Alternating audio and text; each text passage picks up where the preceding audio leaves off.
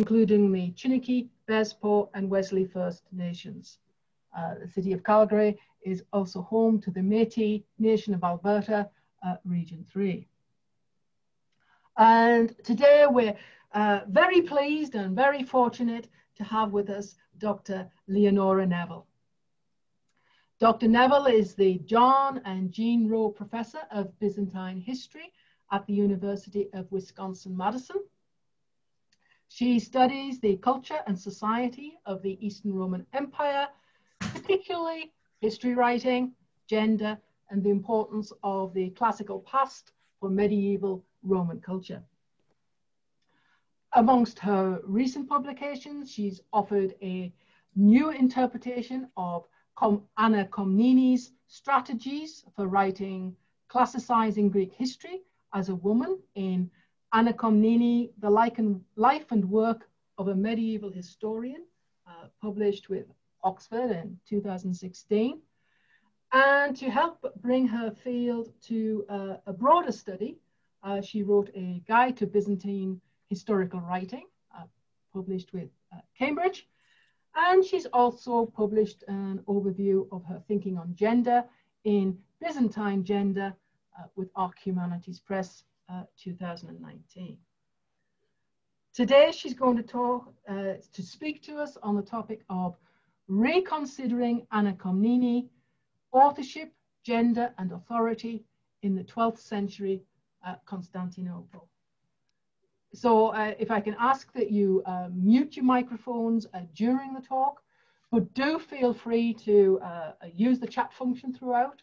Um, we'll certainly address the chat questions and live questions at the end of the presentation. So welcome, Leonora. Thank you so much, Leslie. Thank you for the invitation and thank you also, Courtney. I'm delighted to be with you in some sense, if not in a physical sense. I hope at some point I do get to visit your university and get to meet you all in person and for real. Um, but meanwhile, it's just delightful uh, to get to see you and to share some research and um, hoping to get to know more of you as the afternoon progresses.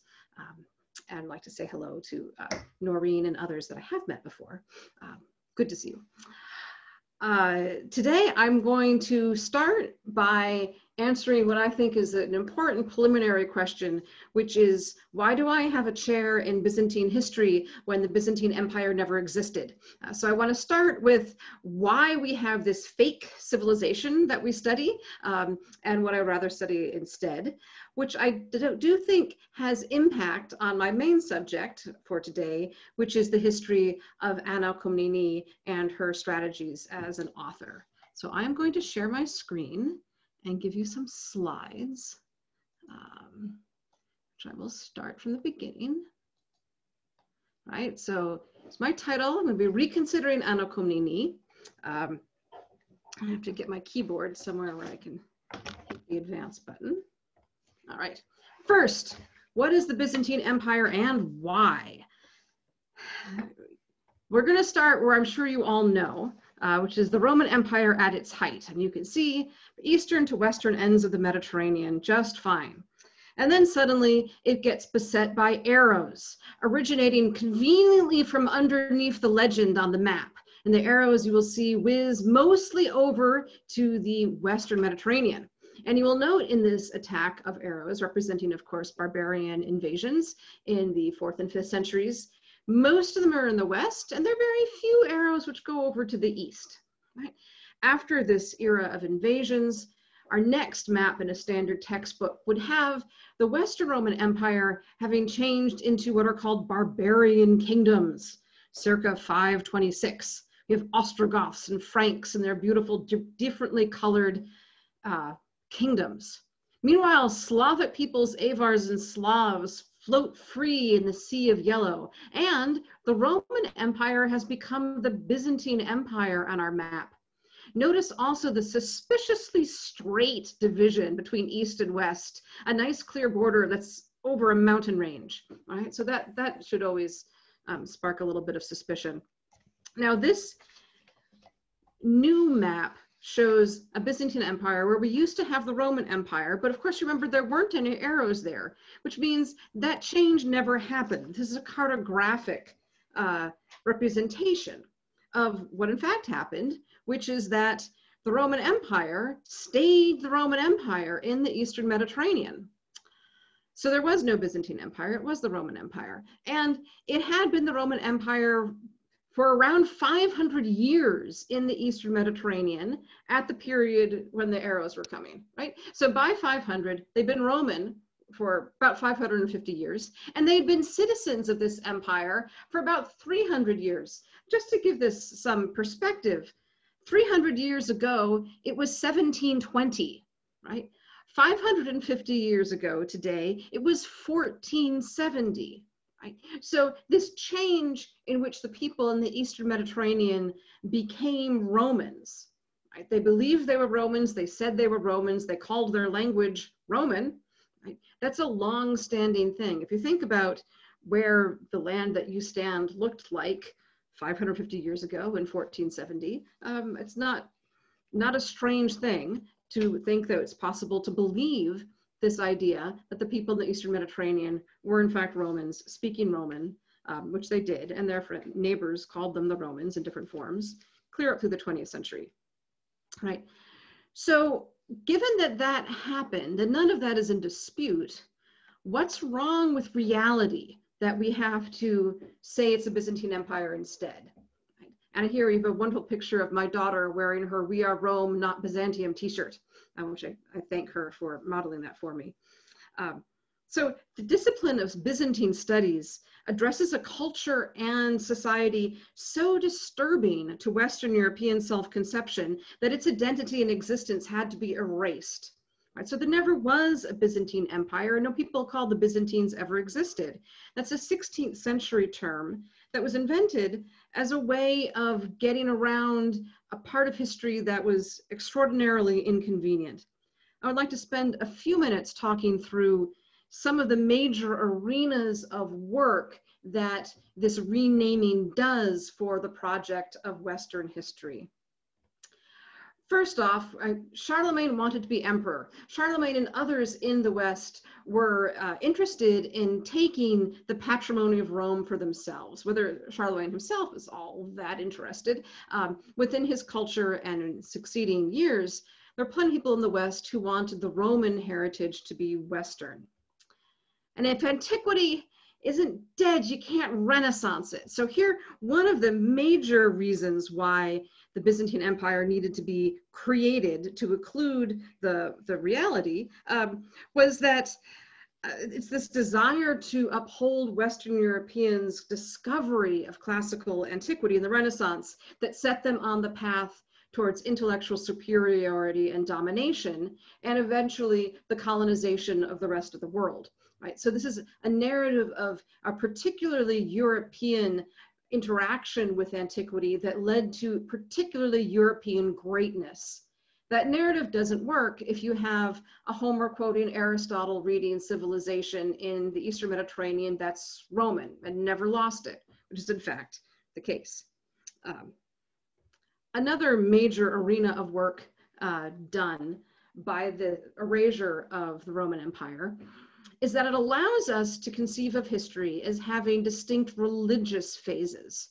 An ancient world, uh, which was seen up until the 1990s as not really properly religious, right? It, it, was imagined as a secular space, certainly in the Enlightenment, and that idea that the Romans didn't really believe all that stuff, all the temples notwithstanding, um, was a pretty strong idea, uh, clear through most of the 20th century.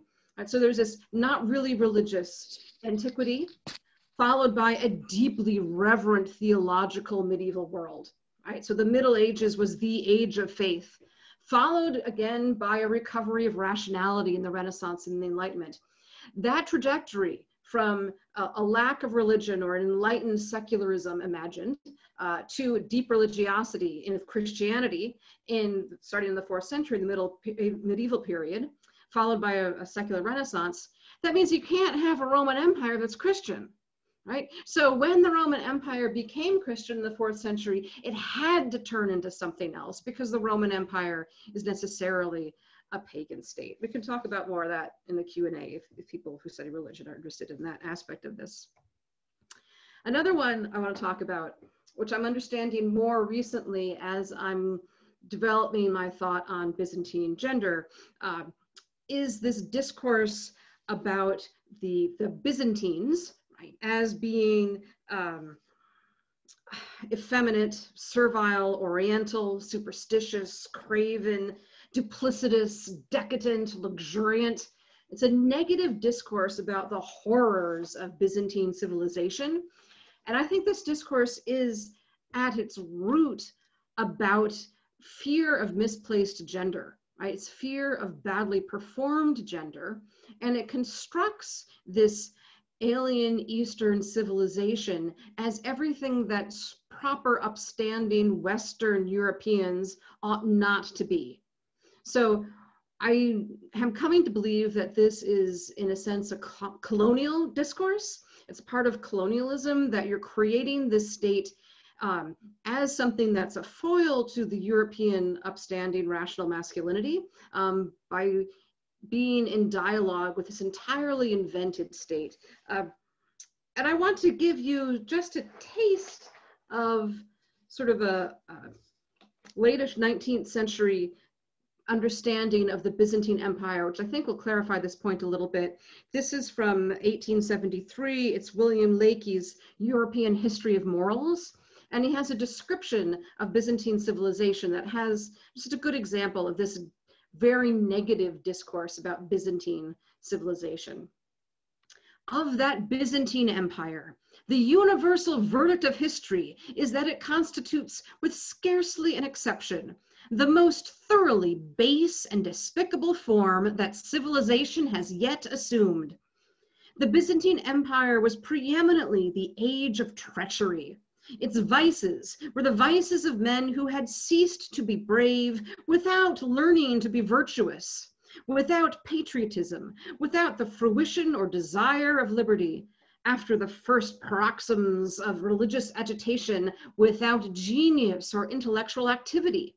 Slaves, willing slaves, in both their actions and their thoughts, immersed in sensuality and in the most frivolous pleasures the people only emerged from their listlessness when some theological subtlety or some rivalry in the chariot races stimulated them into frantic riots. They exhibited all the externals of advanced civilization. They possessed knowledge. They had continually before them the noble literature of ancient Greece, instinct with the loftiest heroism. But that literature, which afterwards words did so much to revivify Europe, could fire the degenerate Greeks with no spark or semblance of nobility. The history of the empire is a monotonous story of the intrigues of priests, eunuchs, and women, of poisonings, of conspiracies, of uniform ingratitude, of perpetual fratricides. End quote. So that's really a bit much right? And I think we're justified in asking where this VM comes from. There's there's more anger and horror and vitriol about this imagined empire uh, than makes sense if it's unmotivated, right? So in digging into the motivations of this uh, is where I see this as part of an effort to really characterize what an upstanding Western European dominating society would be like. Um, and if you see so many of these critiques are fundamentally critiques about poorly performed gender. Um, so that that they're effeminate, servile, oriental, superstitious, decadent, and uncreative and luxuriant. Um, are, are traits that have to do with um, not being upstanding men. So that their, their faith in crazy miracle stories and the excessive religiosity and magic or belief in demons uh, mark them as devoid of rationality. So that they're not really masculine because they're, they're being womanish their superstition. Um, the Oriental despotism and their slavish, servile behavior was a problem because they were docile and passive, the way women were supposed to be, rather than upstanding and dominant, the way men were supposed to be. Um, the excessive luxury and sexual indulgence and softness uh, is a characteristic that, that points out that they don't have the strength and the power and the, the gung-ho-ness that you're supposed to have as a properly dominating man. Um, the complaint that Byzantine art is a constant repetition of ancient motifs. Um, it's a way of saying that they did a lot of art, but it had no creativity in this way that valorizes creativity as masculine generative art, whereas just the repetition, it's decorative, it's like a craft. So women's art is just craft work, right? So all of the Byzantine efforts to sort of um, um, interact their classicism was a feminized repetition of craft motif, right? Whereas the Renaissance men, they were really creative when they were classicizing things. Um, of course, it's the same process. Um, right, and so then the power that's held by the priests, eunuchs, and women is just a gender inversion that seemingly left the European readers shuddering in disgust. Right? So the underlying problem that the Europeans projected onto the Byzantines was that they were not proper men. Um, so, and I, as I said, I do think this is really, in a sense, a colonizing discourse. But we can talk about that more later in the Q&A. I just think it's important to bring up. And then the last arena in which this fake empire does work um, for modern people um, is that of Greek nationalism. So another reason why you want to deny the reality that this is a Roman Empire in the Middle Ages is because if they're Romans, well, then they're not Greeks. And if you want to have continuous Greek continuity from the Parthenon till now, uh, then it does it kind of puts a sticky if suddenly for over a thousand years they weren't Greeks, they were Romans. So that's why I say they called themselves Greek of Romans. You know, they, they thought they were Romans. They called themselves Romans. And this very common discourse, which you'll still hear at the Byzantine Studies Conference, people, scholars will still be saying, oh, of course, you know, they called themselves Romans, which of course implies that they weren't, right? Um, so, um, and it's, it's, you can see it's connected with old ideas about racial categories right? Um, but if you have the idea that your ethnicity and your sense of self is constituted by the way your community imagines your community, then you can really be a Roman. So those are some of the reasons, right, why I think um, that this Byzantine Empire sticks around because it's useful for a lot of different things. And you can see some of those like Charlemagne, that's all the way back to the ninth century. Greek nationalism is a more of a, a, modern issue. The issue of how we conceive of ancient religion, whether that's, and the change in religion, that's something that's of, of a lot of interest um, in, in scholarly circles now, the, the idea, um, but it's, it changes over time is what I'm trying to say. This, what Gibbon had in his um, re-envisioning of antiquity as a secular space was doing different work from what imagining the Romans as not really liking their work, their religion did for, for Henry Ward Fowler in the early 20th century. Um, so lots of different kinds of work. So the upshot basically, is that the Eastern Roman Empire is really good to think with because it's profoundly unsettling. If you're going to acknowledge the reality that the Roman Empire as a classicizing Christian, Roman, Greek speaking state uh, and society was real, that shatters a lot of categories and it messes with a lot of the fundamental paradigms of our discipline, even though we don't really buy into them that much, right? So there are not that many people who are going to be standing up for Western civilization with the same vehemence as people in the past did. Um, but yet it's still there in such a way as to make the Byzantine Empire disruptive. All right, so now on to Anna Komnene, gender and authorship and authority. I want to talk about uh, gender and historical authorship in the 12th century, and then gender and authority and power in the 18th, 19th, and 20th centuries and how those conceptions of gender were different, but also enough the same to cause problems for our author. And considering gender and authorship in the 12th century helps us understand Anna's history. Considering gender and authorship in the early modern and modern period helps us understand how we have misunderstood her history. So a background moment on Anna. Anna was born in 1083 and around the middle of the 12th century, she wrote a history of her father. Her father was the Emperor Alexius Komnenos, who ruled from 1081 to 1118. This is a long, big history. Here we go. Here's a here's a copy. So thick, right? Um, it's mostly most pages are a perfectly normal classicizing history. You would recognize it as a narrative of the deeds of men in war and politics, organized chronologically, told in a basically dispassionate way, but lots of rhetoric tweaking things and making arguments. Uh, it's recognizable as part of the Greek historiographic writing tradition. Except every once in a while, it gets really weird. Um, Anna will cry. She will express tremendous degrees of sadness. She will dote on her father. She will remind you much more often than you need to that she's the daughter of the emperor. Um, and in certain other ways, it's just, it, it steps out of normal patterns for history in ways that are kind of surprising and puts Anna as a major, not she's not a character in the history, but her authorial presence is marked, right?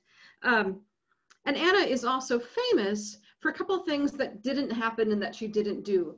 She's really famous for this moment of conspiracy in which her husband decided not to try to murder her brother to make her empress right? That didn't happen. And then the other major event in her life, according to standard narratives, was that her brother, uh, John, did not then confiscate her property.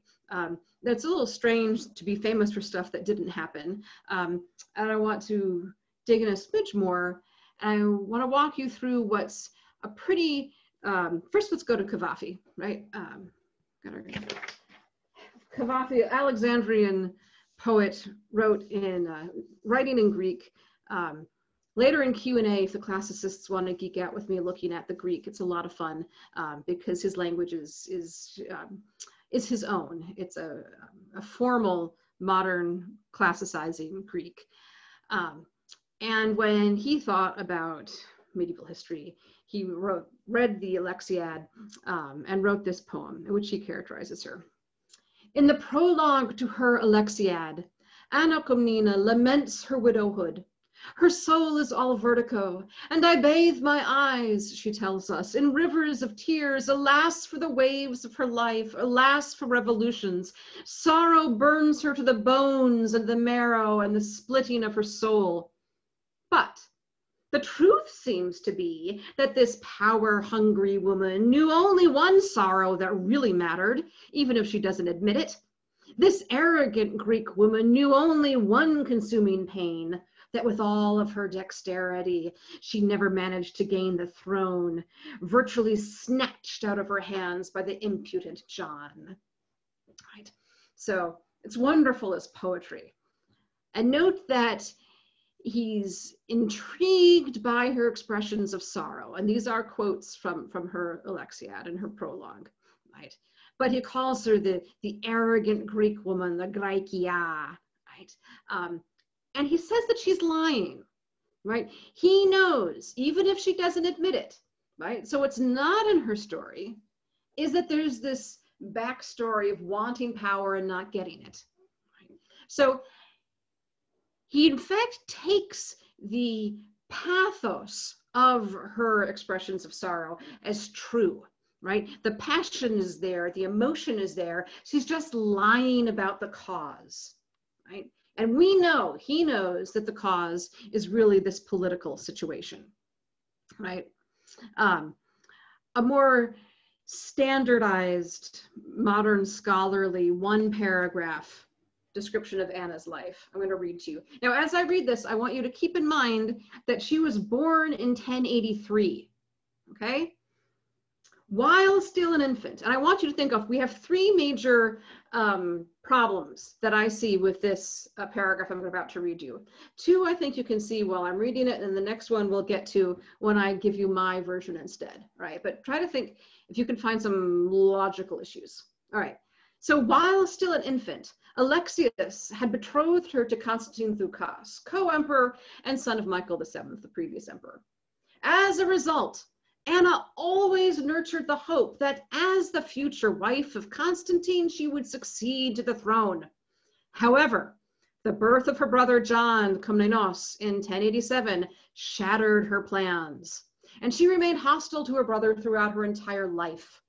When her father died in August 1118, she and her mother plotted against her brother with the aim of securing the throne for her husband. The latter refused any involvement and retained loyalty to the family.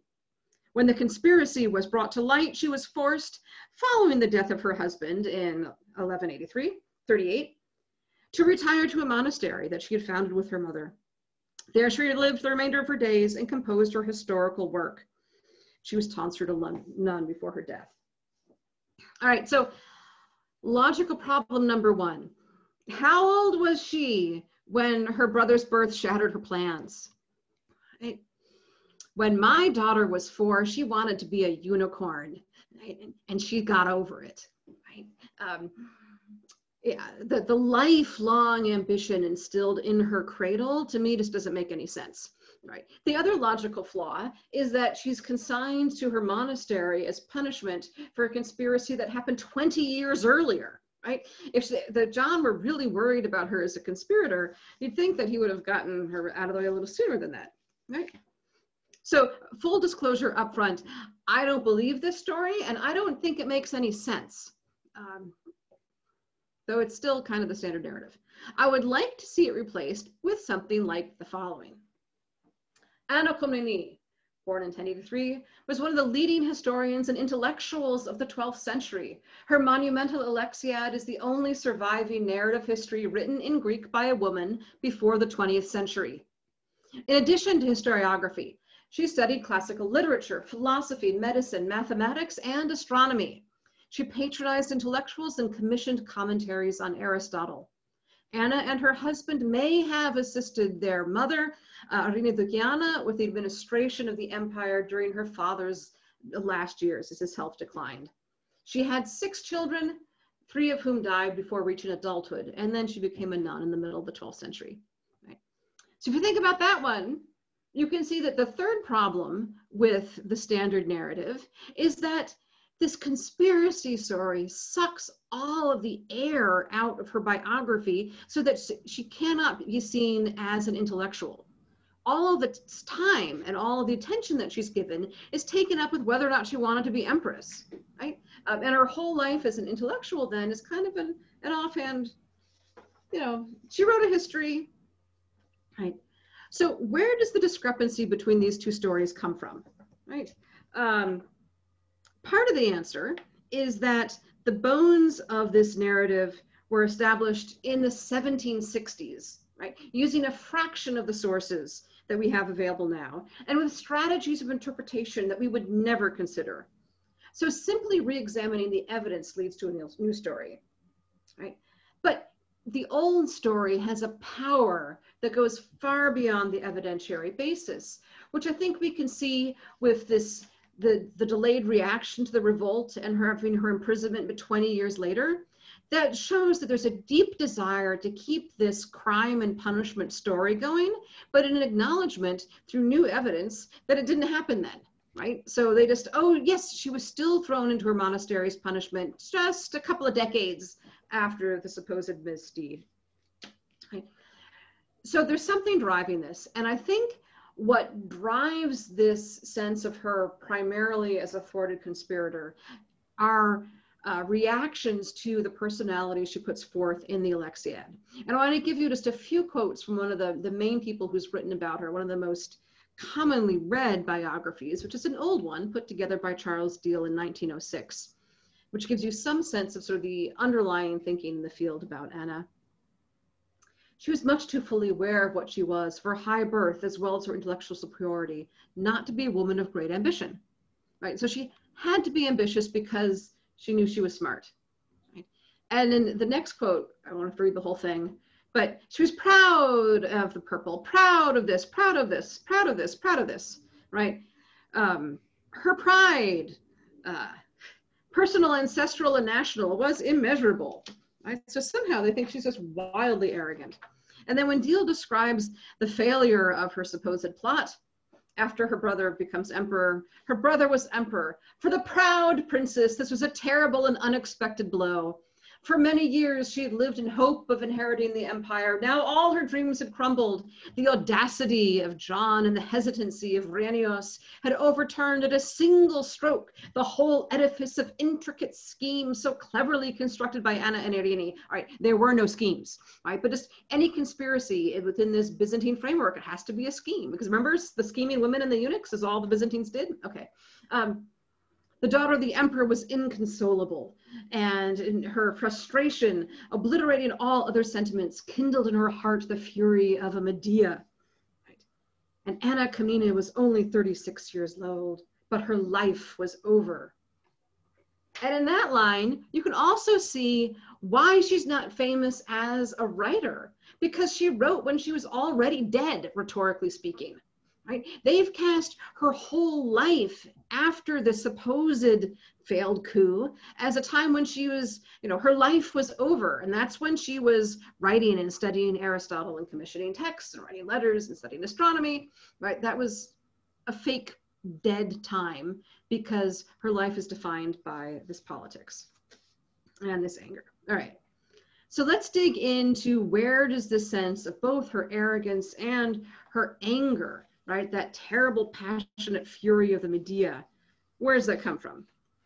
Right? And I see it fundamentally as arising from the discrepancy between 12th century ideas of gender and 18th through 20th century ideas of gender. And to start, where does it come from? Let's ask ourselves, so why is she the only woman to write a history in Greek before the 20th century? Right? Why isn't this something the women did? And so let's think for a few minutes about the Greek historical tradition. It's an old tradition. Right? Anna would have said that it started with Homer and Herodotus and Thucydides. There's lots of variation in the tradition, but also a lot of stability. There are norms and tropes and patterns to Greek historical writing um, that sort of bound it in a set of rules, what Anna refers to as the laws of history. Right? Uh, and its subject was the deeds of men the things that they did in battle and the things that they said in politics. Plenty of other stuff was interesting, um, but th that other stuff didn't happen to be what people wrote histories about. History was about boys and war, right? History writing required experience because the best way to know what happened in a battle or a situation or war was to have been there and if you weren't at that particular battle, it helped if you had been in a different battle, you could understand the testimony of the witnesses that you interviewed to tell you about it. So the more experience you had in war and politics, the better qualified you were to be a historian. It also required research. Best, of course, if you were in those events yourself, but if you were not present, the historian ought to find people who were politically involved or who were at the battle and interview them talk to them and find documents and find texts that can help them understand what happened. Uh, you also needed to have education to write history. First, you needed to know enough about writing classical Greek that you could write in that language. Education also helped the historian be able to see through the rhetorical wiles of other characters, witnesses, and other texts. You needed to have the education to see how you're being led around by the rhetoric of your sources to know what was actually true and what really happened. History writing also required dispassion because you had to be able to put your own emotional engagement to the side uh, and look at the evidence and discern what was true, right? So, and a, a, a, a lack of bias was considered really important and you could only have that since everyone loved their country if you had the strength to control your emotions and leave your love of your place aside slightly as you're writing right? History writing was always self-aggrandizing because you're the one who's saying, this is what happened, and these people acted well, and these people didn't act well, and this was the cause of the problem. So you're putting yourself over the people that you're writing and casting judgment on them. And it's a very aggrandizing thing to do. And by the, the 11th and 12th centuries, um, historians routinely would say things like in their introductions, oh, I'm so sorry, I'm not up for this. I know I'm not enough good writer. I don't have the skills to do this, but I have to do it to prevent the memory of these great deeds being forgotten but left into Lethe, right? So everyone commonly would decry their own abilities and make these humbling statements. Uh, and many humbling discourses were common in the 11th century and the 12th century um, because it's just obnoxious to say that you were so full of yourself that you thought that you're going to be able to write a history and tell everybody what happened, right? And the last characteristic of classical history writing I want to talk about is that it required the author to have good moral character because at the end of your day, the only guarantee that you have that the author hasn't lied is that you trust his character. Right? So the good moral standing of the historian is absolutely essential uh, for a history to be trustworthy and to be believed. Right. So now let's think about those characteristics with regard to women who may have written in Greek, right? Um, so this is our tradition of historiography. Let's think about what was normal expected female behavior. Normatively, in the medieval Roman Empire, as in classical Greek, women were supposed to stay home. Elite women, particularly, were supposed to only go outside of the house for religious observances, and they weren't supposed to say anything in public ever. Um, some of Anna's near contemporaries were praised for never being heard to say anything. Her mother was never heard to speak. Um, and as with classical Athens, um, we're not really sure how much this actually worked in real life, um, but there was certainly the normative idea that you didn't leave the house, right? And so you were not interested in war and politics. Um, in that it required experience, well, women didn't have experience because they had they stayed at home. Their experiences with spindle and distaff and they didn't talk to men, so they couldn't do research. And you certainly couldn't go ask a veteran what happened if you're not supposed to talk to anybody outside of your house. Um, and they had minimal education. Uh, women in Anna's era were certainly taught to read the Bible and get through saints' lives. They were not taught to read Thucydides uh, or Euripides. Anna was unusual in gaining those skills. As for dispassion, a fundamental tenet of medieval Roman conceptions of gender is that women were subject to passion. Women were under the control of their emotions. They were not able to control their emotions. And when women did control their emotions, they were said to be masculine, right? That was a manly characteristic. Women modesty was the most important characteristic for a woman to be a good woman in Anna's culture. Not only sexual modesty, to keep, be not wave her hands around and keep your hair tied back and, and avoid the gaze of men, uh, but fundamentally to be deferential to masculine authority. That demure deference is a key characteristic of women. So to do anything self-aggrandizing was really bad in Anna's culture. So for a woman, good moral character was defined by modesty, seclusion, and devotion to family, right? So anything that a woman did in this column would make her a lousy woman, right? So, you know, it's no wonder that no one bothered to try to do this. Um, and so even if a Greek woman could get out of the house, talk to men about politics, interrogate witnesses, gain access to education, none of her readers would believe that she'd been able to do so. Uh, so what's the point? So for Anna to have any chance that her readers would believe she was capable of writing a history, she would need to prove to them that she had been able to gain personal experience in war and politics, interrogate witnesses, research the truth, gain the education to write about it, and had an unnaturally unfemale ability to control her passions and think dispassionately. History writing necessarily drew Anna into fundamentally transgressive behavior within her culture she had to act like a man in order to write history. At the same time, she needed to have good moral character in order to get anyone to believe her history. Right? Um, so she could not let the transgressive nature of her activity undermine her moral standing as a good woman.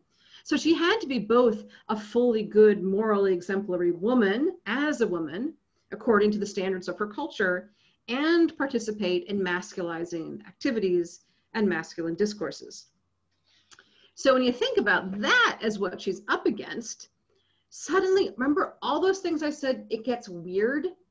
All of the weirdnesses are places where she's trying to respond to the objections that arise from her project. And when you look at her text, she has a stopper for every single one of these problems. It's just that they're hard to see unless you understand the culture that she's working in. Right? Um, so let me just go through some of her main rhetorical techniques and the effective response she's trying to get out of her audience. She stands up and says that she has the skills to do history, right? She tells everybody that she studied ancient philosophy, she's read Aristotle, she's read Plato, she cites Euripides in her first line, um, and she says that she studied mathematics, and when she later on, that's all in her prologue. At other places, she says that she's studied astronomy and she has a discussion of sources in which she said, Yes, I interviewed old soldiers. I read dispatches from the front line. I had the documents. I talked to people. I interviewed people who were very old and were not interested in, in pol current politics. Right? She stands up for her abilities as a historian. I believe that her intent is to ask her audience to trust her. She's trying to prove that she has the ability to write history. And of course, she's writing about her family. So within her own household, she can maintain her seclusion within the household and yet write about the emperor because it's her dad, right? Um, she also then makes many cases in which she's crying for our pity. She's, I'm just an old widow my husband has died. My parents have died. she cries. Her lamentations um, are, are striking and strong. And what she's trying to do there is enact what Glenn Most has called the stranger's stratagem. It's a tale of woe. And the point and purpose of the tale of woe is to get your audience to feel sorry for you so that it humbles you right? If you're talking to an audience and you're saying, oh, here's this horrible thing, you're never going to believe what horrible woes I've suffered, then your interlocutors are going to say, oh, that's too bad. And they'll sit and listen to you talk for a long time, right? Um, so this is a, a standard humbling strategy for writers of her era that you talk about your woes as a way of getting people to feel sorry for you, right?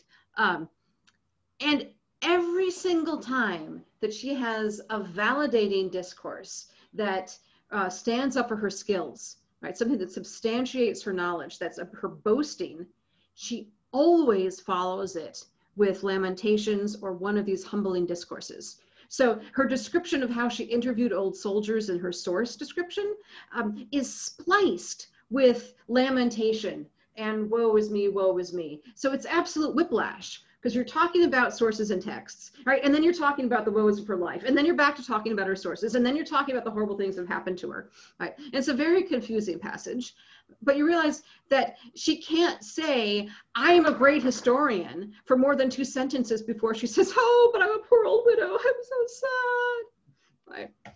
Um, she works really hard at not being biased right? She wants to prove to everybody that she knows the laws of history require that she not be partial to her father. However, she must be a good daughter. She cannot undermine any sense that she's devoted to her father. So, how does she write openly and fairly about her father? She says, I know the laws of history require me to say bad things about my father when he messed up. And I will tell you when he messed up, even though I'm also a devoted daughter right? Um, so she's trying to be both a good woman and a good historian. She does a lot of different techniques to try to get over this one. Um, one of my favorite is that she'll tell us a bad story about Alexius and how he's screwing up, but he does it in a really heroic way, right? So, for example, um, he goes off to fight Scythians in the northern part of the empire, and in order to have divine favor in the battle, he takes the veil of the Blessed Virgin Mary with him in a reliquary. Um, but then they lose the battle, and he this box is really heavy, so he's he hides it in the bushes while he runs away. Right now, Anna is here being an unbiased, impartial historian because she lets us know that he went to battle, he lost the battle, and he hid the veil of the Blessed Virgin Mary in some bushes while he ran away. We would never know about this battle even existed if she hadn't told us. However, Alexius was the mighty, glorious Roman emperor who fought so hard he had um, um, um, sweat that was like blood dripping off of him. And he worked so hard doing everything for his people. Um, and he was going to die there fighting if not his, his brothers and friends said, no, you must leave for the good of the Roman people. You have to flee. Like, all right, for the good of the Romans, I will flee. And then he fled so heroically that he bopped one skipping over the head and he put a spear in the next one. He saved his cousin's life by saying, oh, look behind you. Right? Um, and so heroically and nobly, he ran away. Another famous situation, Anna has him flee from a battle, but he flees on a horse that flew like it was had a Pegasus up and leapt in these incredible ways. Right? So over the top heroism, embroidering to honor a guy who's funnily messing up, right? So she is showing us his dirty underwear. She is letting us know all of his problems, but she does it really nicely, just the way a good daughter would right? Um, she also writes about um, history in such a way that for huge chunks, vast stretches, it's a narrative of deeds in war that looks just like any other narrative deeds of war, which means it's write written in a masculine voice, right? She adopts masculine historical discourse, uh, which is a way of being trustworthy. It fits the genre, it fits the rules. Um, and that, um, over there. It's a way of, of her uh, saying that we should all just trust her history because she can do it. But and when, when we say normal history, I think that most of us don't consider that to be a masculine discourse. We kind of say, oh yeah, women didn't write history, but we don't really think, for all those reasons that I laid out before, that the fact of writing history is writing like a man about man's stuff, right? So since she's writing in this masculine voice, every once in a while she wants to, to show that she is in fact a woman and a normal woman. So she'll switch, she'll turn it off and she'll have the emotional reaction that we would expect her, not we, but that her contemporaries would expect her to have as a woman. So, for instance, her brother dies in the battle, and she's writing a very dispassionate masculine narrative about the battle. And then she says, At this point, I must lament. And then, hi, hi, from the heights to the ground. And it's as if she has um, book on, on ritual Greek lamentation on the shelf. So it's, it's a woman's discourse of ritual lamentation. And then she says, oh, but the laws of history pull me back and I must dry my eyes. And now I have it together. And as I was saying, then in the battle, and then she proceeds with her discourse, which does a couple of things. It lets her, the audience know that she has the re emotional reaction that a woman is supposed to have at that moment, but she could also turn it on and turn it off. So she lets us see her cry and she lets us see her dry her eyes, get it together, and then say, now I'll return to historical discourse, right? And when she does this, her, um, the grammar of her gender changes, right? Her historical narrative voice is masculine plural. Now we shall look at this, now we shall look at that. Um, and that, but she's feminine singular when she's doing her female lamentation. And then she'll switch back and be back to masculine plural for the history stuff. Um, so she's being a good and normal woman who just happens to have the strength of character to be able to control her emotions. All right. Um, so Anna didn't gloss over, uh, let me just catch up with my notes. I've gotten, hang on. All right. I think she could have glossed over the tensions right? She's a good enough writer. She could have sort of swept it under the rug, this issue of being impartial um, and yet um, being a good daughter, or some of these other tensions. But rather, she lets us see her weaving them together, right? She could have easily written under a pseudonym. She could have said, oh, I just found my husband's history um, and, and got it out her, her vision. Uh, which would have been infinitely easier for her. If she had decided to write under a pseudonym as a, as a male author, we would never, ever, ever, ever know, right? But instead, she said, I'm going to try to write a history as a woman and weave these things together. And I think for some of her contemporaries or near contemporaries, her efforts didn't work.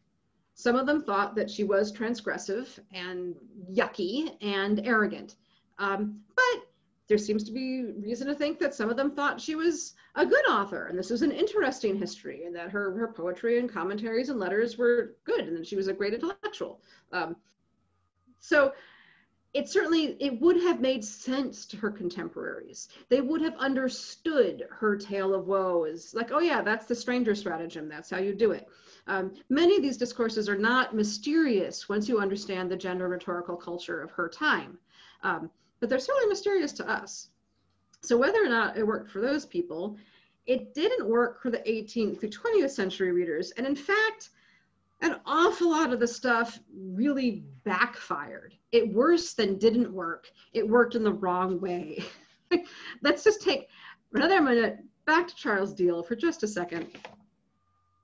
We must not forget that she was a woman and consequently had a liking for the decorative, for exterior magnificence, which sometimes concealed from her the true heart of things that she was a passionate woman, consumed by hatreds and resentments, and lastly, a learned woman, a literary stylist in love with fine phrases. All this, though it may diminish the strictly historical value of Anna Komnene's work, does not by any means make it less interesting.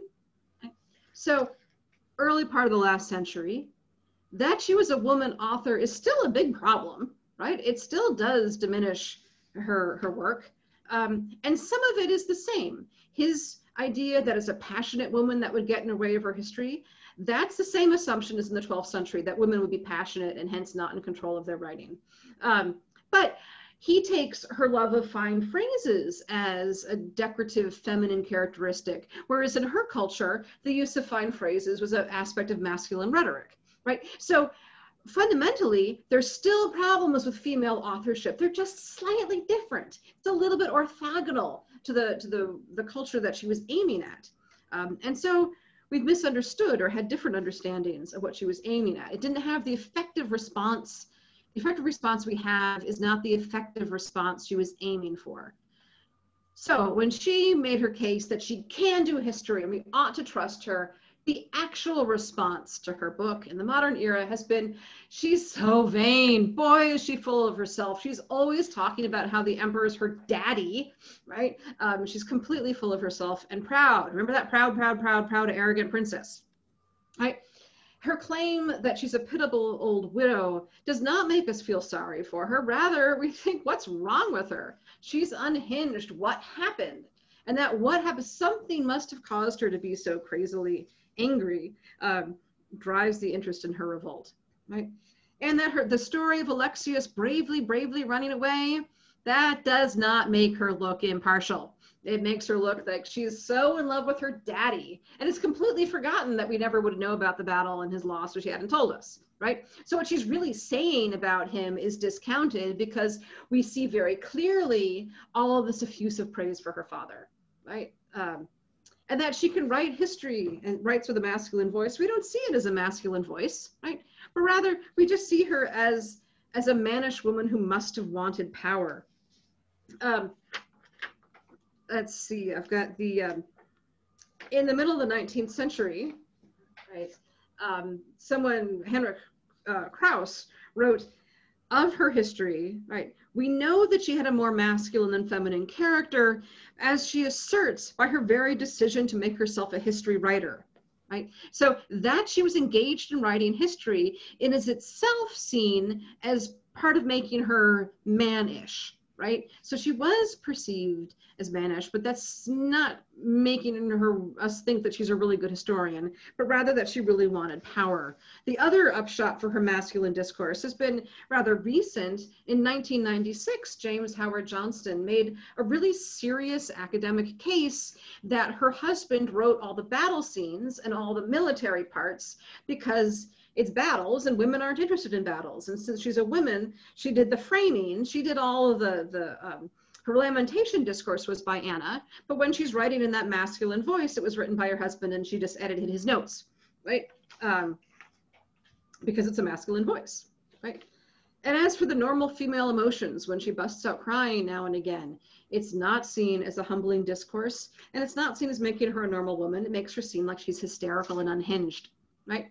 So as with the Kavafis, remember he believed that the passion was true. She was just lying about what she said she was upset about, right? So I also think that she's lying, that she's not really weeping about the death of her husband of old age 30 years ago. Um, but she's making that a, a, case in order to provoke a feeling from us, right? Um, but rather, the modern readings hold that um, she's lying about the cause of her emotion, but the emotion is taken as, as absolutely true. And in a sense, it's a continuation of this idea that she must be just spewing emotion hopelessly and helplessly, right? She's writing this stuff out. Why? Because she can't help it. She's just so overwhelmed with anger that she has to spew that on the page. She's just going to say that it's sorrow instead of anger because she doesn't want to let us know that she's so angry about not having had the chance to murder her brother to become empress, right? Um, all right, so we misunderstand her self-portrait. Um, so we then think she's got to be crazy. What's making her so angry? We know, we think like her, she's lamenting um, the death of her father.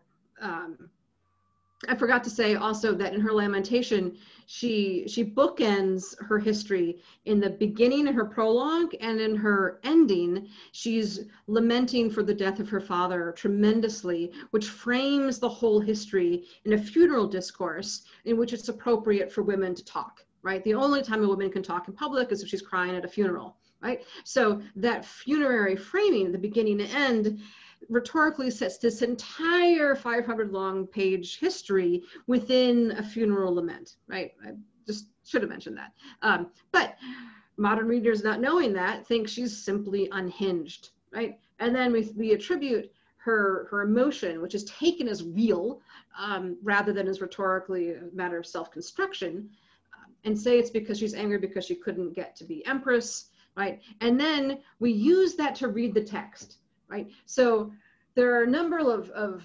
passages in her history that are translated in which the difficulty of the Greek is resolved with reference to what we know about her history, which is that she desperately wanted to take over um, and seize power for herself. Right? Um, and then that story of the revolt explains the Alexiad. So we read the Alexiad with the knowledge of the revolt, and then it all makes sense right? And it, and it swings around. So one of the passages that's the linchpin for the idea that she led a revolt is it precisely in her description of her sources where I said it was spliced together between talking about how she got her information from interviewing veterans and her talking about how she's a poor widow who had a horrible life and if you should feel sorry for her. And she makes a claim for isolation that you know we we have all been um, occluded and in isolation for 30 years. That sentence happens right after she said, "I've gone and interviewed old soldiers." Right? So she's doing the big nasty thing she's not supposed to do as a woman, which is to get out of her house and talk to men who's not related to her, right? Um, and then she immediately makes this claim for isolation. That claim for isolation is taken out of that um, situation and used as the proof that she's been in the monastery her whole life. Right? The whole idea that she was confined to that monastery comes from that one sentence in which she claims isolation. Um, and I see the claim of isolation as motivated by the rhetorical necessity of saying that she's a good person and that she's nice and she's playing by the rules, even though she just told you she doesn't because she interviews old veterans to get her stories, right? So, but the, the, the interpretation of the revolt comes from this misunderstanding of her rhetoric and around and around and around that goes. Um, I could geek out quite a bit about the politics of this and more reasons why I think um, this the revolt story didn't actually happen i think it it very largely falls apart when you don't need it to explain why she seems to be emotional in this text um, but that that deals with a lot of 12th century names i don't think it's particular interest so we can certainly deal with it in the q&a i do want so basically we perceive her as being the power hungry arrogant Graeca. Um, and then the historical narrative that supports that has become accepted, right? So we buy the narrative of history that fits with the reading we have of emotionalism in the text. I also want to end by saying that we like that story. We need to reflect about our own culture. I opened up by talking about all the work that the, the Byzantine Empire does for Western civilization, right? And why people for hundreds of years have preferred that to looking at what actually happened. Right?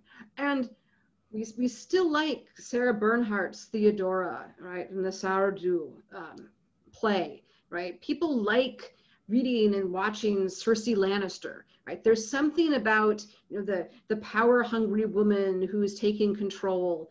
Um, there's books of the um, uppity women from the Middle Ages. I don't have it. I should have gotten it from a bookshelf, but um, yes, someone in, in, a, in, that I know for the community setting said, "Oh, you do history. You should. You'd love my copy of Uppity Women from the Middle Ages. It's got a chapter on Anna Komnene, right?" And like, yes, I know that chapter, and it's like, yeah, she wanted to murder her brother and become empress. Woohoo! Um, rather than, you know, she actually did something even much more astonishing in writing her history.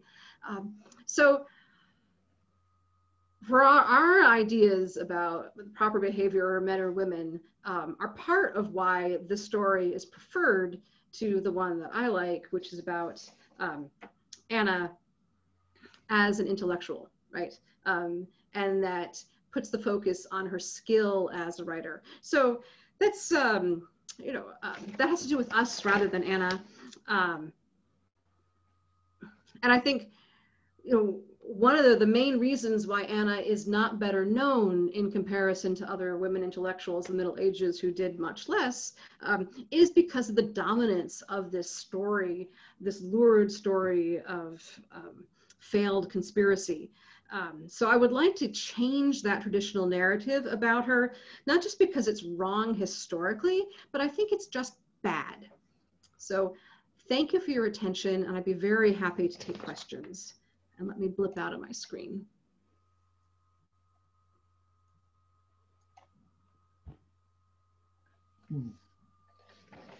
Well, I'd just like to thank you for an absolutely wonderful um, and, and, fascinating talk. Thank you. I'm sure we must have some questions. Maybe we can take some questions uh, from the uh, floor first. If anyone wants to unmute themselves and ask a question. I saw a bunch of hands up. Mm. Um, I have to find out how to alt A. Should we should we go by hands or who? John, I can see you have a question. Do you want to unmute yourself?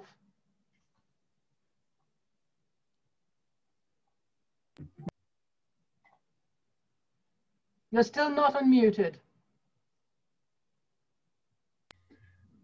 There we go. Is, is that all right now? Yes. yes. Um, just, two very, very simple questions. The first one was related to the, the huge history of the decline and fall by Edward Gibbon. Hmm. Was he aware of her as an author other than simply an historical figure? And the second part of the question is, had she written instead in pre-Christian times, a thousand, let's say 1200 years earlier, in the Greek society of the time, would it have been easier for her without having to adopt all the characteristics which you describe? All right, interesting. Uh, Gibbon did know her as a historian. He used the Alexiad. Mm-hmm. Um, he says that it betrays on every page the vanity of a female author. Um, and he's, he's very harsh on Anna. However, he uses her interpretation of the First Crusade completely.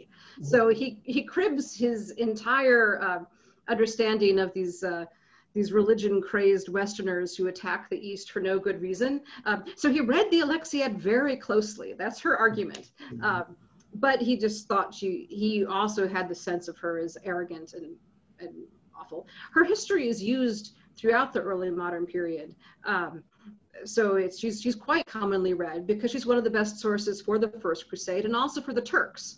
Um, so before it was, it was published um, in the 1640s, it circulated in different chunks. There was the chunk about the Crusades, and there was a chunk about the Turks that circulated pretty widely in a lot of manuscripts. And there weren't very many manuscripts of the whole thing. That's, a, that's an aside. Um, and then I think that very few of these impediments to her writing actually have to do with religion, right? If we think about uh, women should stay home and tend to children and weave, right? The spindle and distaff is the same. The you oughtn't hear about women in public unless it's a funeral oration. That was the same. Um, when she's looking for models of how she can speak with a female voice, um, she gets them from Gregory of Nazianzus writing in the voice of Mary lamenting Jesus upon the cross, right? Their lamentations, what Eve said when she was cast out of Eden, right? Um, but those are themselves very modeled very much on ancient Greek lamentation. There's, it's Hecuba, it's, it's Iliad, it's, um, um, it's Euripides, right? It's, you know, the Trojan women. Um, so her models for, for women speaking in a valorized way are all women speaking in lamentation, and they're very classical. Um, so I don't see the religion as playing much of any role in this.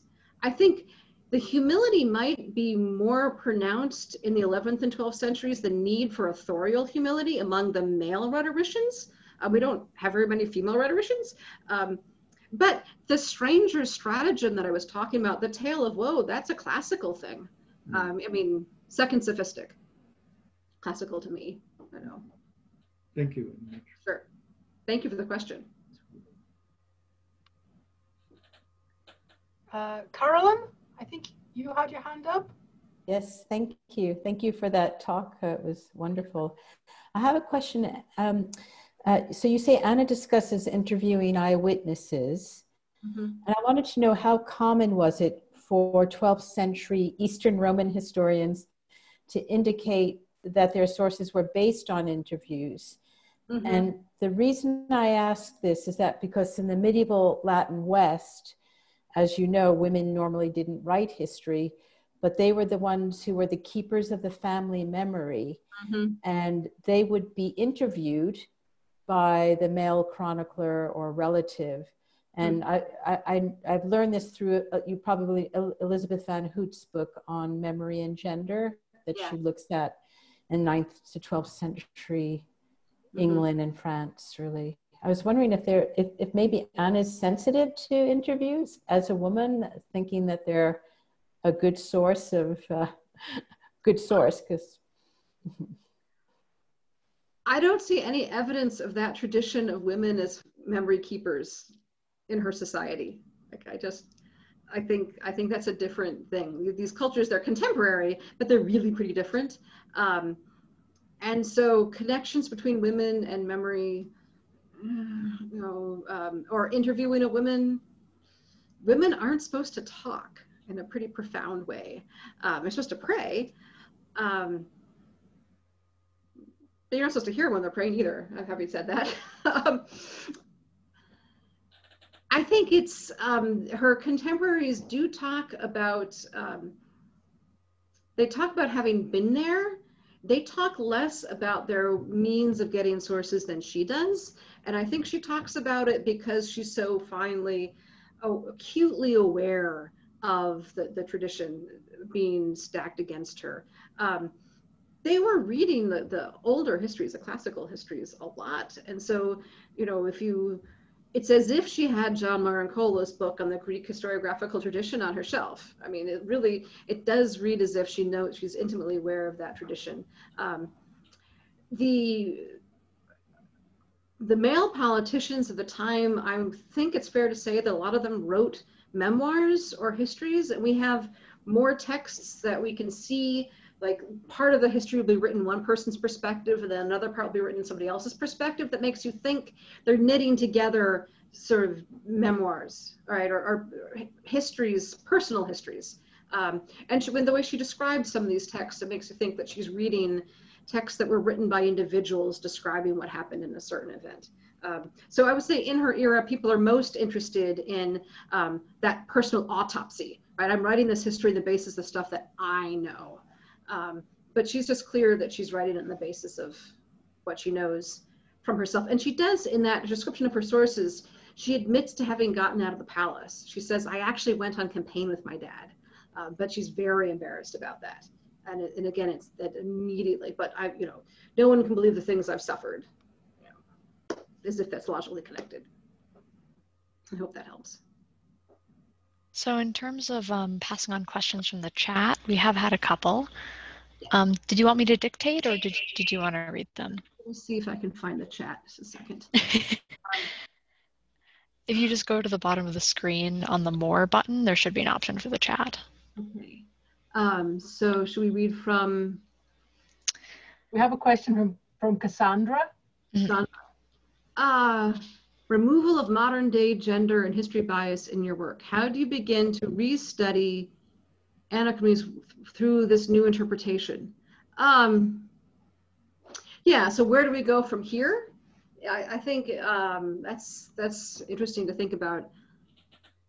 I think that we're just seeing the text new for the first time, you know, and I think it's pretty stunning if you think about people have been reading this thing for over a thousand years, um, and well, like 800 years, okay, um, and we've really not understood it very well. Um, so and it's as you understand one aspect of the rhetorical culture, um, then more things fall into place. So even just that, that your question isn't what's wrong with her, but why is she saying this and what does she want us to feel? Um, that's a new question. And I think you should ask that of every piece of writing that comes out of this era and this culture, because when they were learning to write, they read handbooks that said, no, if you want your audience to feel this way, you can make, make this case, right? Uh, you know, Demosthenes says, and this makes you feel this, right? Um, so I think that's the right question. And if we ask that question of the text, then we just start reading them in really different ways. Um, I think the next step just going through my this again, um, someone has to write a book doing much the same thing with Nikitas Choniates, who's a later historian who just um, hates everyone in Anna's family, apparently, but the work that that's doing is deflecting blame across, away from himself. He was one of the people who was in charge of the decline of the empire before it got sacked by the Crusaders, right? So, and he's writing a history in which he's he's basically trying to say that everyone was to blame for this except him. Um, and part of that is is to create an origin story that the, the roots of our current problems lie in the in the sexual dysfunction within this family. And he creates everyone in in a, a horrifying caricature of gender inversion right? We're blind to all of those except Anna, who we single out because that fits into a pattern and people know, like, oh, power hungry woman. We see that, and that everybody else is also inverted her family. We don't see. So we see like one quarter of this invective and make a big deal about it. So we, we can go through and reread his story and his whole history, asking the question, what did he want us to feel when we read this? And understand enough of his culture that we can guess at that, um, then we can really start understanding what their texts are saying. Um, and for the, the other part of how do we remove our own biases, we have to look it in the eye. So many people would say it's not a big deal to talk about the Byzantines and that, you know, Leonora's kind of got, you know, she's got her thing about wanting to talk about the Romans rather than the Byzantines, but really it's fine to talk about the Byzantines. Um, that's sort of occluding that whole preamble I gave of the work that this name does for us um, and sort of assumes that it's all fine. But if you look at it and say, well, this all these complaints about this horrid, horrible civilization are in fact complaints about gender, and that does mean it's actually playing a role in a colonizing sense of how for building up European domination over the rest of the world. Um, this just gets caught up in that and helps define Europe. If we really think through that and the implications of that, then we can become aware of where we stand.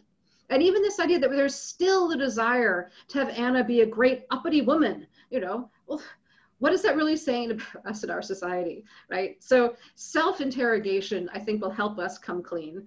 Um, and then um, we, I think the, the number of people in the field who want her to be a woman who, who wanted power. They just want that story to be true um, is a lot.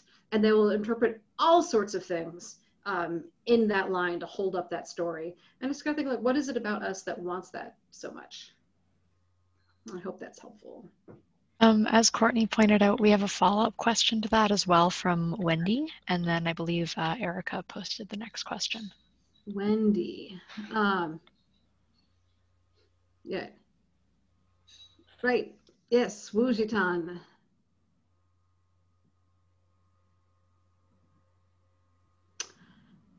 Influence on other women. Um, Did you want to unmute yourself, Wendy, and just ask your question? yeah.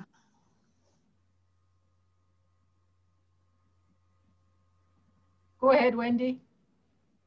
Sorry, sorry. I'm just it's just taking me a minute. Sorry, I'm in my pajamas. Right. Um, yeah, uh, yeah. I just um, you know, I I guess the context for the question is I work on material um, uh, medieval Chinese women and Empress Wu Zetian.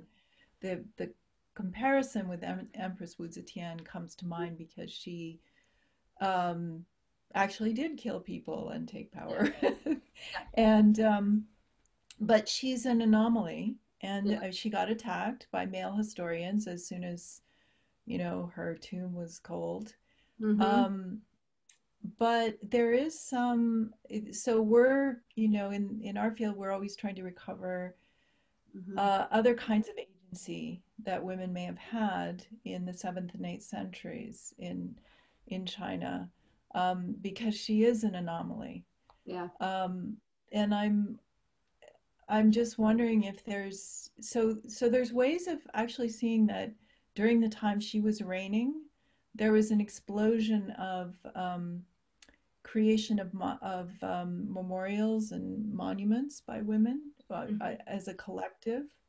Mhm. Um, Mhm. so I'm wondering if there's any kind of I don't I don't know and I mean it's a fascinating area and I know artistically very rich but I, I wonder if there's any kind of other material that would give us a sense of whether or not Anna or other you know elite women um, active in this period may have influenced the cultural scene. Yeah, I mean, we we don't have the the information that we would like. Um, Mm. If she didn't think people would take this seriously, read her work as a woman, if she didn't think it was possible, she just wrote about it synonymously, right? She had the option to say, you know, she found her husband's history. So I think she she did trust that it was worthwhile to do it. Um, there were other contemporary women who had, you know, literally use the word salon, but you know, they paid people to do literature with them. Um, so she wasn't alone in that. There was women's patronage of monasteries, women's patronage of manuscripts and poetry and things. Um, so uh, she wasn't the only woman to get this kind of education. Um, and the, the, the male intellectuals talk quite a bit about the women who are paying them to do their work. Um, it was the, the creative act was so um, transgressive. Well, women weren't supposed to be doing the actual creation themselves, right? Writing, and this, we're understanding more that the act of writing itself was seen as really arrogant, right? So there's this play between uh, of humility. These tropes of humility are really big among them, as well as these tropes of boasting because they're competing for the commissions, right? So there's this, I'm, I'm the best poet out here, but I'm so humble, I'm so humble, I'm so humble. You know, that they all have that back and forth. Um, so none of her letters survive, but apparently she wrote many, many letters. She had a lot of other writing that we don't have. And we have this mm-hmm. history because people want to know about the Crusades, they want to know about the Turks. Um, and it's a really good history. So there are external reasons why this particular text was saved. And her framing, her beginning and her end, um, survive in very few copies. It's a miracle that we have them. Her prologue uh, survives in a manuscript that's examples of really good prose. It's a rhetorical manual, right? And we only have a very fragmentary. Um, she she uh, says at one point when her father is dying, "Now I must turn and end the history and begin the the, the tragedy." Um, and there's this pen drop across the ages as all the manuscripts end, right? Except for one that goes on and preserves her last ten pages. Uh, you know, it's, it's close to there. We don't have the ending. Um, so, so I think that's why her history survives. There are very modest women who are patronizing churches collectively, uh, women and men. Well, so there's tiny little churches which have lists of 20 or so women who helped pay, pay Mm. for it. Um, so there is that kind of stuff. So I, I think there is other work. Um, to go back to, to Empress uh, Wu, she's exact contemporary with Emperor Irini um, from who's around died in 803, who um, came to power with the help of religious change. For her, it was um, overturning iconoclasm, but as as Empress Wu had help of the the Buddhists, right, and eunuchs. Mhm. So there are striking similarities at the surface level of both how they got into power and how they maintained power. And I've often thought, wouldn't it be fabulous to know somebody who was interested in gender and studying medieval Chinese history, the seventh century, so that we can do a comparison. You know, there we go. Um, because the parallels in the way these two women held and maintained power in these very patriarchal societies um, are, are really striking. Um, so perhaps we should Yeah. talk. Indeed. Well, I, I would love to talk. And Empress Wu also had a female prime minister, Oh, which is really interesting. all right. They didn't have that, but pretty cool. but yeah, I'd love to talk. Thank you so much for a great talk. It was fascinating. Oh, thank you. Thank you. Um, and now Erica asks, um, Erica, did you want to repeat your question or I can dictate as well?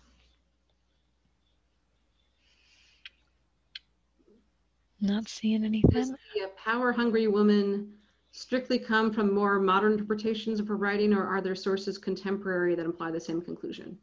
Um, Agrippina the Younger come to mind. Um, uh, the, the history I mentioned, Nikitas Choniates, the guy who does the gender invective of everybody, um, he was writing, he revised his history after the sack of Constantinople in 1204, but he was writing uh, in the, the 1190s or so. So um, this part of the story is actually from the 11, 1180s, 1190s chunk.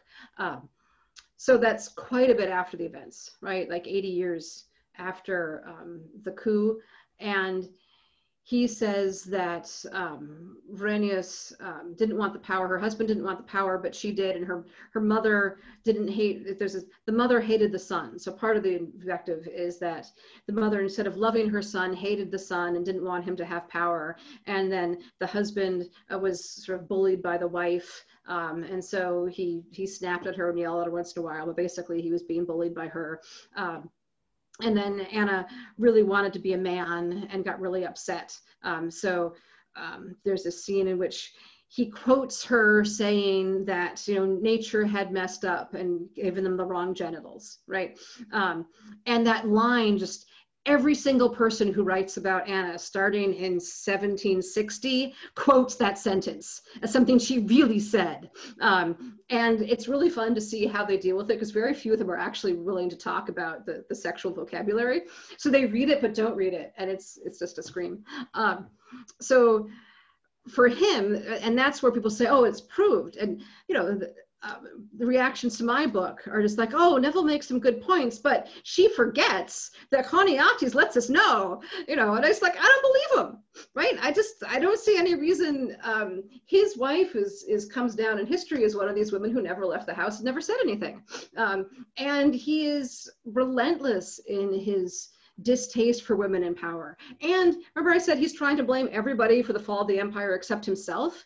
He goes after the imperial women continuously, saying as though it's these women running things, uh, and it's one after the other.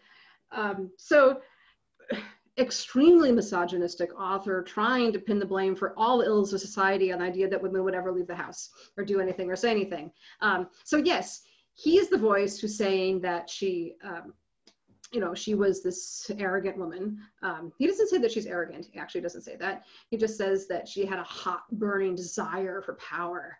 Um, it's the uh, the entire this his story of the moment in which her husband tried to get his energy up to murder his brother-in-law and then wimped out it's a one huge sentence that's an extended metaphor for failed male orgasm uh, it's just it's the whole text is wildly sexual. Um, but when you translate it to english you can't get both levels right? And you see these authors they're trying the, the modern authors early modern are trying to get the facts. They want the facts, and they're not interested in the fact that this the whole thing is this wildly sexualized vocabulary. Um, so yeah, um, there's certainly there's other texts that are closer to her that indicate that there is nervousness about the succession, right? So it's not as if there was nothing that anyone was worried about, but the way I read the actual politics was that Alexius, who reigned for a very long time and became an old sick man, didn't trust his son with an army and the power because he didn't want his son to take over. Right? So he trusted, he put a lot of power on his son-in-law, Anna's husband. Um, and and kept his own son out of power. And so there are these rumors about you know is john actually going to succeed? And it's like well everybody says they want john to succeed and everyone has sworn loyalty to the heir um, and then he takes over. So the story that's in the Alexiad and other contemporary histories is that as Alexius was dying, John goes to the palace and gets himself crowned right? Um, so the scandal that's recorded in the histories that are closer to Anna's time is that John the heir left his dying father to seize power, right? Um, and then it's only 60 years after that that the reason he left his dying father to seize power is that his evil sister was going to take have a coup. Um, so what actually happened, we don't know. And I'm certainly not going to say that Anna didn't want to be empress because I think like who wouldn't want to be empress? Um, the, the idea that she had no no political ambition whatsoever is not something I'm going to try to argue. Um, but this is a story that we like for reasons that have to do with us and not them. Um, culture. I hope that answers that one.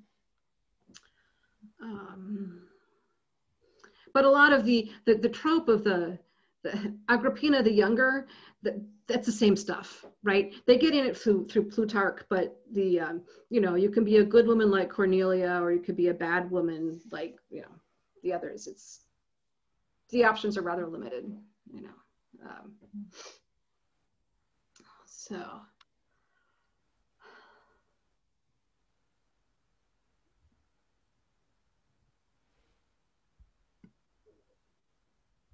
I'm trying to is a, trying to read Sydney's question. Um, colonial obsession with strict gender.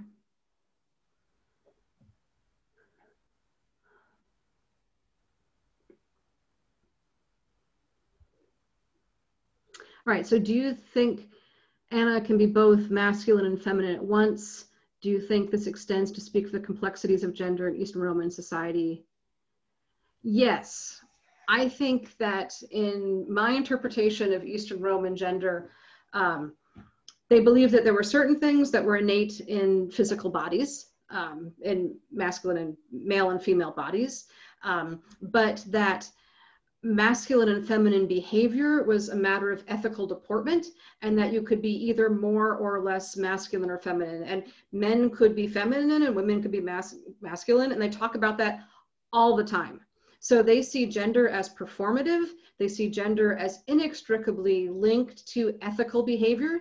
So to be a good woman, you had to be a good woman, good as a woman. And to be a good man, you had to be good as a man. But their texts are constantly filled with women who are masculine, right? And men who are feminine. And they're obsessed with correct gender performance, right? And for women, when it came to having, since masculine characters are always valorized.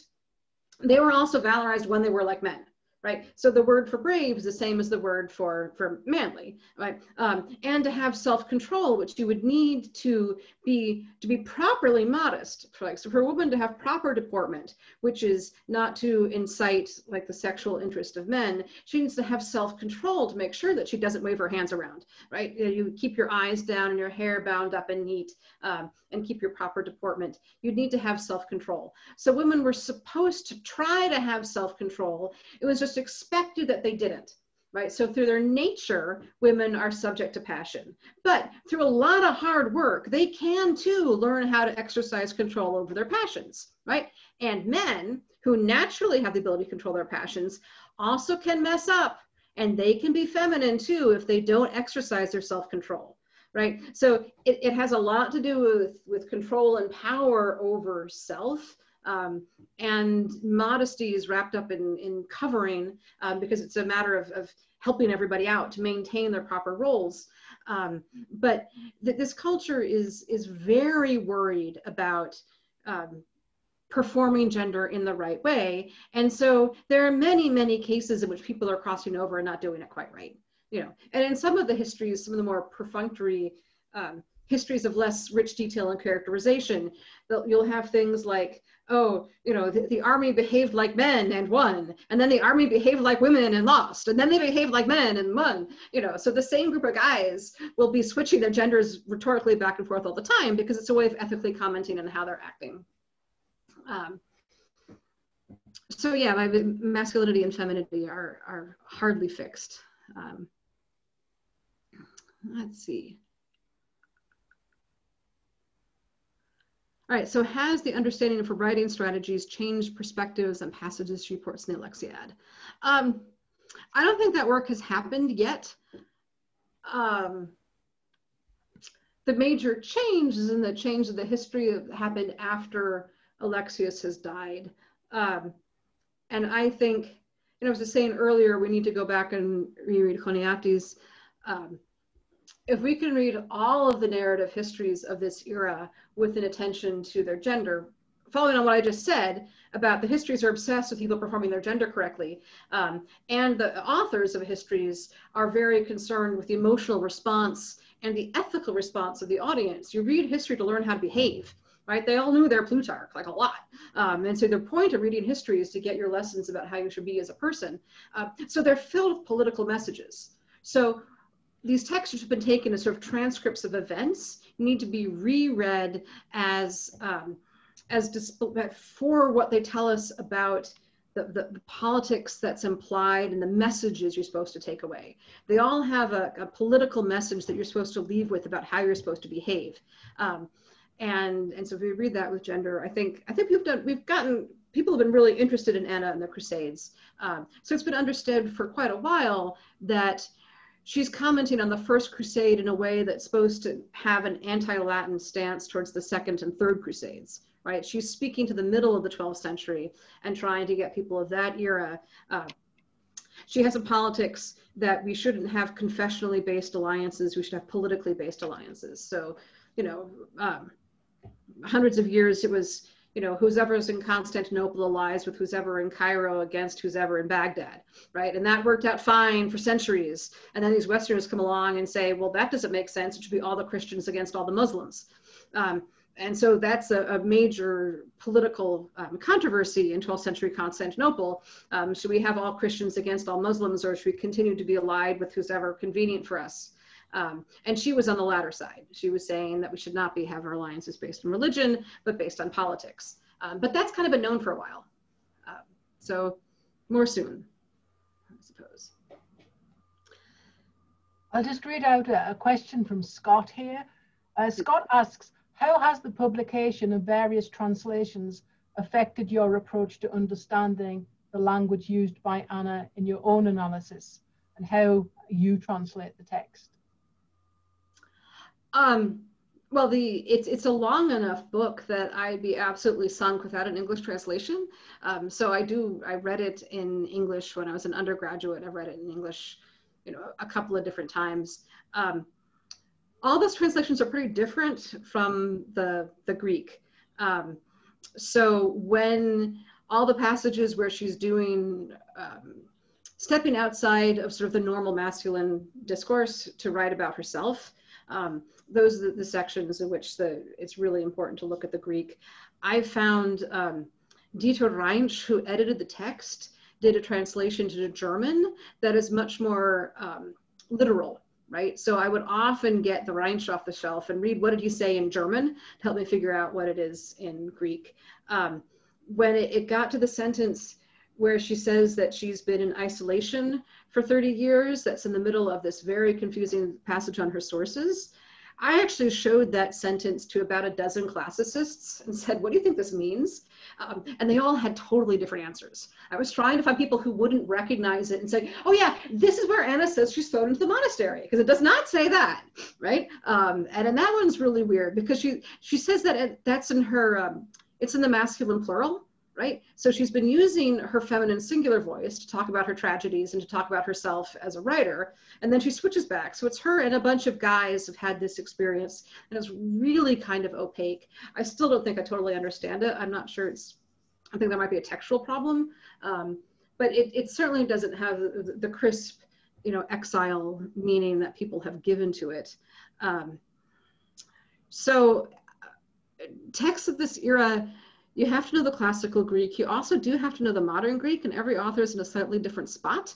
Um, and it's tricky asking a bunch of people. I hope that that answers. It's hard to to say much more than that. Um, you know the and of course I can say I can spot the flaws in the translation where I can see they've added things in the translation to make the story make sense and in all of those cases, they're explaining difficult passages with reference to the story of her attempted coup, right? But I haven't read, you know, if, if there are problems in the description of the actual battles, um, or, you know, there's a lot of it that's sort of, you know, tromping around, army went here, army went there, kind of like, you know, Xenophon type stuff. I, I haven't read those sections closely enough to know if there's any differences in the Greek, and I wouldn't expect it because that Greek is so much more standard, right? If it's, you know, it's not so tricky. I think we'll finish with with Holly's question, which is a, a um, sort of like it's a more practical uh, question here. Um, based on your discussion of women's roles in this period, I'm a, I am assuming that had Anna's brother not been born, she mm-hmm. still would not have been given any direct power, but her husband would have instead. How do these accusing of her of being power hungry uh, deal with this? Yeah, I mean that that's just a great question because you know had Nikephoros uh, taken power, she still wouldn't have had any. She still she would have been empress, right? So there's sort of a sense in which it goes back and forth between her wanting to be um, just wanting to rule because she's so arrogant, right? So she would she would have been happy if she had been empress, um, but there isn't any sense in which she would have had any more direct power over anything as the, the emperor's wife than as the emperor's sister. Um, and I think she probably had, she was an, an, active person who did things. She didn't just weave her whole life. Um, but I, the description we have of her life is that she spent an awful lot of time reading philosophy and talking to philosophers and talking to writers. And it doesn't seem from that long description in her funeral oration that she would have spent any time sitting in the throne trying to like be royal um, or go on campaign and things. So um, her ideal womanhood, um, you're much more, being a good daughter is a lot more important than being a good wife. I think in this culture, there's more concern about good daughterhood. Um, and you're never allowed to talk about your own children. Um, to talk about your children is to boast of them, which is to risk having them get smoked down by the yellow. And that's you know, both in ancient and medieval culture. You don't say anything good about your children, which of course people use to say um, she was a horrible mother. She never mentions her own children. You know, she's obsessed with power and she doesn't talk about her babies. Um, but of course, there's you can't find anybody in this period talking about their own children. Right? You only talk about uh, until until the parents have died, and then you can talk about how the, the children are statues of the mother. I think. Um, okay, I think it just remains uh, for me to thank you once again, um, uh, Leonora, for absolutely wonderful talk. We're getting thumbs up there. Um, thank you. I, I, know there's no sort of like sound here, but anyway. Um, I appreciate it. It was lovely to talk with you all. Please send other questions if you have them. And I'm always happy to talk about Anna. And I really appreciate your questions. Thank you so much. Thank you. Take care. Take care, everyone. Thank you. Good to see you.